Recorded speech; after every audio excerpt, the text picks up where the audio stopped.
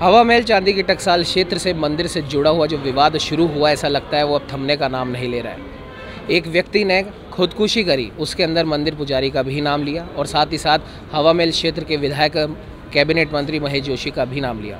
महेश जोशी जी ने अपनी सफ़ाई कल पेश कर दी है कि उनका इस विवाद से कोई लेना देना नहीं है और आज हमारे समक्ष वो पक्ष आया है जिसका नाम सबसे पहले इस विवाद में घसीटा गया।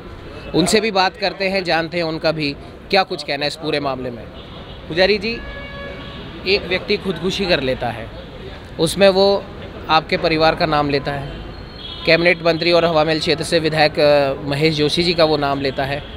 और इस खुदकुशी के बाद में राजनीति यहाँ पर शुरू हो जाती है। क्या आपको लगता है, पहले तो हम आपका पक्ष जानना चाहेंगे और क्या आपको लगता है कि इस विवाद को जानबूझ के राजनीतिक रंग दिया जा रहा है और आपको परेशान किया जा रहा है? इसमें ऐसा है कि ये मंदिर 300 साल पुराना है। इसमें हम हम नवी पीढ़ी में आते हैं, इसकी सेवा कर रहे हैं। इसमें ये हमारे ये उत्तर की दिशा में एक 50 गुणा तेईस का एक प्लॉट था, वो हमने किराए पे इसको दिया था। उन्नीस सौ चौरासी में इसको, उसका किरायानामा लिखा था। लेकिन इसने बाद में किराया देना बंद कर दिया। तो हमने खाली कराने के लिए इसके लिए अपने किराया अधिकरण में दावा किया वो दावा हमारा उसमें मंदिर ट्रस्ट जीत गया। इसके बाद ये उसकी अपील में गए किराया प्राधिकरण की। उस अपील उसकी अपील में भी वो, वो अपील मंदिर के पक्ष में है ना मंदिर के पक्ष में निर्णित हुई। इसके बाद ये लोग हाई कोर्ट में गए। हाई कोर्ट में भी मंदिर के पक्ष में ये निर्णित हो गया। इसके बाद ये सुप्रीम कोर्ट गए। सुप्रीम कोर्ट में इनको वहाँ से भी जब ये हारे तो इन इन्होंने एक वहाँ से एक एक साल का अंडरटेकिंग के लिए वक्त मांगा और इन्होंने एफिडेविट लिख के दिया कि एक साल में बाद एक साल के अंदर अंदर मैं अपना बिना किसी हुज्जत के आ, बिना किसी हुज्जत के शांतिपूर्वक मैं इनको कब्जा संभला दूँगा। जब वो एक साल का वो अवधि समाप्त हो गई। उसके बाद भी इन्होंने कुछ नहीं किया, है ना? ना- हमसे कांटेक्ट किया, ना बोला। इसके बाद हमने इजरा की कार्रवाई को स्टार्ट किया। इजरा की कार्रवाई स्टार्ट हुई। उसके बाद इन्होंने इजरा रोकने के लिए एक दलील दी, हमारे पास इस जगह का पट्टा है तो वो हमको ये इसको इजरा नहीं करा सकते। तो वो कोर्ट में बात चला। तो कोर्ट ने उस बात को नहीं माना। खारिज कर दिया। उसी को ये अपील में फिर गए। अपील ने भी उसको नहीं माना।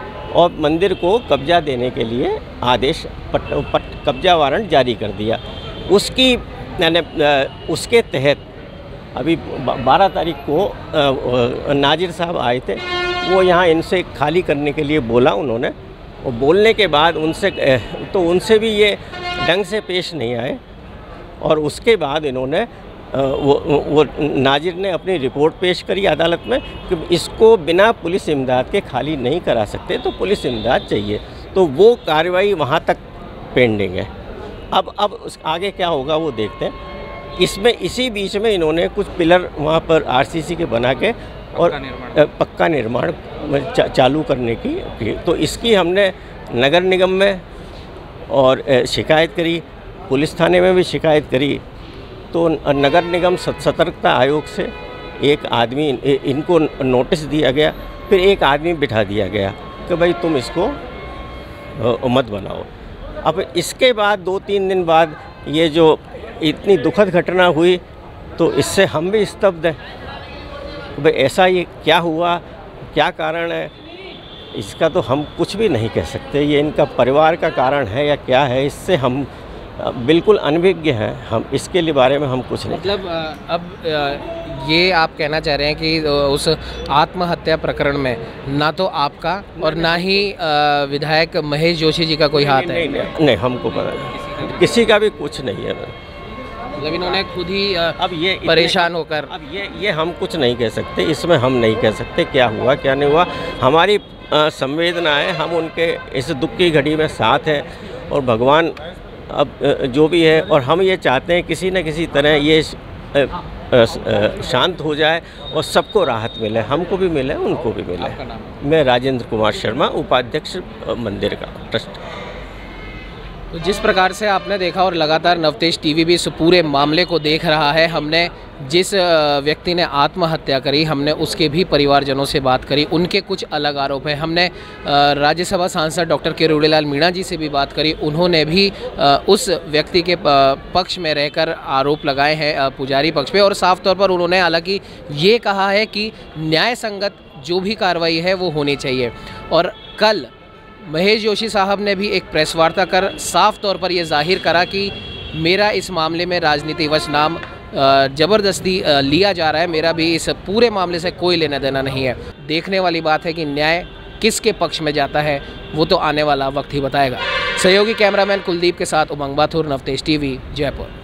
देश और दुनिया की हर बड़ी खबर के लिए सब्सक्राइब करें नवतेज टीवी और पल पल के अपडेट्स के लिए बेल आइकन को दबाना ना भूलें। क्योंकि आपकी खबरों का भरोसेमंद साथी है नवतेज टीवी।